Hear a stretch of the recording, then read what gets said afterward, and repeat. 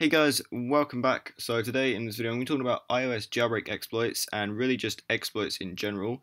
Basically what they are, how they work, and a bit about how they are created and discovered. So a lot of people know the term exploit, but most people just see them as sort of magical files that somehow give you the ability to jailbreak your phone or do other amazing things without really knowing anything about what goes on behind the scenes or what goes into the development of one. So hopefully this video will explain the basis of what an exploit really is and how it works.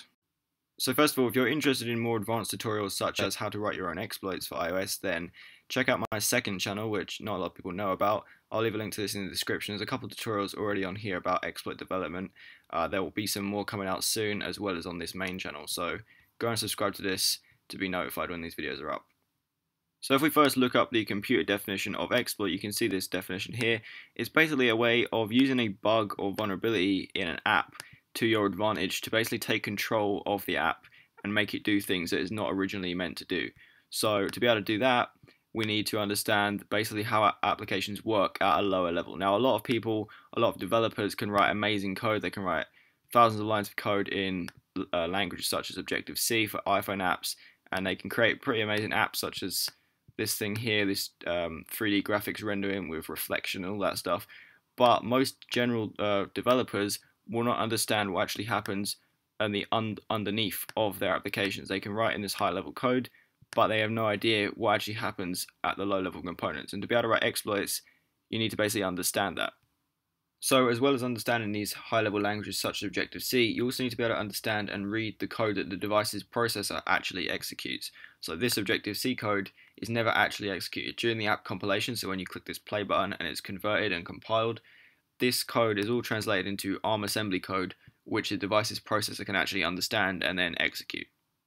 When an app is actually running on a device, you can think of it as basically just a list of instructions, each with a line number, and each instruction just does one specific thing and then moves on to the next line. A lot of exploit writing techniques involve uh, rearranging the order of these instructions or using certain parts of them, chaining them together to be able to achieve other things. So, for example, if you have some instructions that are used for adding numbers and then multiplying them, an exploit maybe could take these instructions, rearrange the order to basically produce a different outcome. To be able to see an app's instructions or produce its ARM assembly code, you can use a program such as IDA or Hopper Disassembler. These are both disassembling tools, so you open them and then select the executable file you want to disassemble. So for example, if we go into here, we've got the kernel, the iPhone 4S's kernel. On IDA, you click New. This opens and then basically allows you to select a file. So you can just drag in the 9.2.1 kernel and IDA will recognize this as a Mach-O file for ARM v7. Click OK and then you just follow through with all these options and it will disassemble this and produce you the ARM assembly code for the kernel. And you get a little warning about ARM and Thumb mode instructions because on ARM processors actually two modes um, of execution, but I'll just click OK for that. And here we go, here's the ARM assembly code. So you can see the start. So this is where the kernel starts. And then you can follow through this and obviously you need an understanding of this to be able to read it, but this is how you produce the instruction. You can do this for any application, any binary, anything. So because of how large and complex the iOS kernel is, it's not very practical to begin looking for a vulnerability by simply reading through this code. Many uh, hackers and security researchers go through a process known as fuzzing, which is basically a way of supplying really unusual inputs or really large inputs into a program in attempt that it crashes and then this crash can then be examined and a vulnerability can be discovered from that. So we're going to take a quick look at a simple example of fuzzing. You can see I've got my iPhone connected over SSH and in this directory we're in there's a simple app called Thing. If we run this you can see it says please enter a file name and this app basically is used for displaying the contents of a file. So we're going to enter the name of a file and it's going to basically open the file and tell us what's inside. So this, this is a text file, or this is a test file.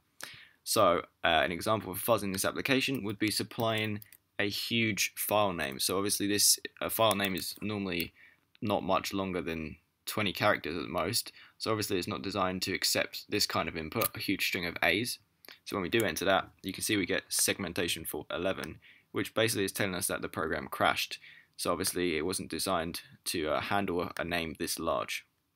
So now that we've identified the crash in the program and a potential vulnerability, we can go ahead and disassemble it now and analyze and discover why the program crashed. So let's just open it in IDA we'll just drag, um, we'll go to the desktop, and Thing will open this application, and you can see the same settings as before. It recognizes it as an ARMv7 Mach-O file. Click OK, and obviously this one will be much much smaller than the iOS kernel because it's just a, test program that I wrote myself. So you can see it gives us in this nice uh, flowchart form. But we can now proceed to analyze what actually happened with this program. So you can see that unlike the iOS kernel, this is just one massive function. The iOS kernel has hundreds of functions, so this should be easy enough to analyze. So let's just go through it. We just want to ignore the first things at the top here. And it starts here. So if we go through, you can see the first interesting thing we come to is the welcome to a vulnerable program string. This is the welcome message that gets printed out as soon as you run the program. And what this instruction is basically doing is moving it into this register, which is later used by printf down here. So printf is used to display the message on the screen. So that's all this first bit does really, displays the message. Basically the same code is repeated. Uh, the other message, please enter a file name, the second message. This is then moved into register 1, and then same thing here, printf is used to display on the screen. So that's just the start of this. Now the more interesting stuff comes, what caused the program to crash. So you can see the next function call is to scanf. Now if you look up scanf, we'll find that it's used for reading um, data from the user and then storing it on the stack. So it's quite obvious what's happened here from a security researcher's perspective. Um, it's just a classic stack buffer overflow. Obviously, very simple for this tutorial. Um, basically, what's happened is the buffer that was designed to store this um, string entered by the user was obviously only allocated a small amount of um, characters, and we entered more than that amount of characters. Now, scanf is a dangerous function which will continue writing the characters to the stack, even if it's not got enough space for it. So basically, scanf is the vulnerability in this program.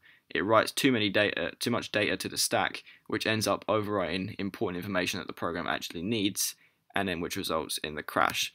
So we've pretty much identified the crash already. There's no need to look at any more of this stuff. You can if you want, if you're interested. But scanf is the cause of this crash. To look into this further, you want to find out exactly what kind of information you've overwrote on the stack.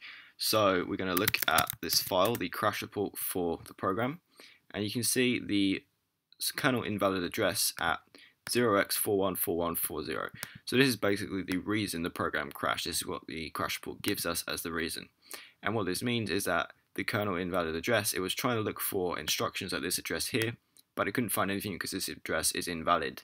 Now what this is, most of you already know if you're uh, even know the basics of exploit development, but 414141 is the capital A's that we entered into the program.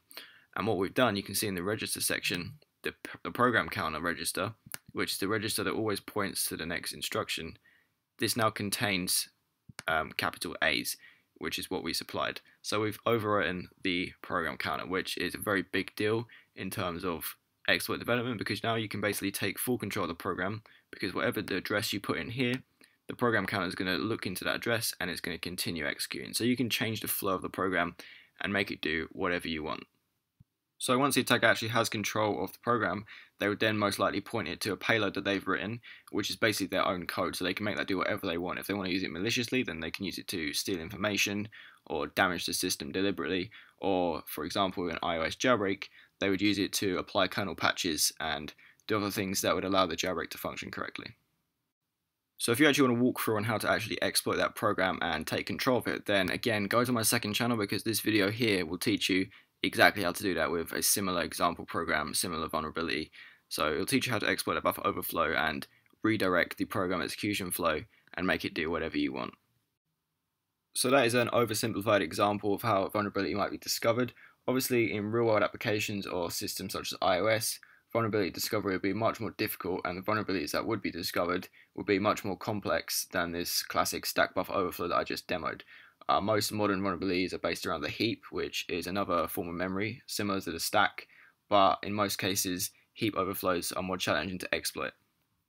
Also, gaining control of the program's execution would not be that easy in a real-world situation because there are many other um, anti-exploit mechanisms that are built into systems such as ASLR, um, stack canaries, things that are basically designed to prevent you from being able to access or gain control of the program counter that easily. So in a real world situation, you'd need to take a lot of other measures and bypass a lot of things to be able to actually do that. as I said before, if you do want to watch a walkthrough on how to actually exploit that in depth, then watch this second this video on my second channel. And uh, if you want to see videos similar to this on my main channel, covering more advanced forms of exploits such as heap overflows or other things like that, then leave a comment down below. Um, but that's pretty much it for this video, so I hope you guys enjoyed. Don't forget to subscribe for more, and I will see you next time.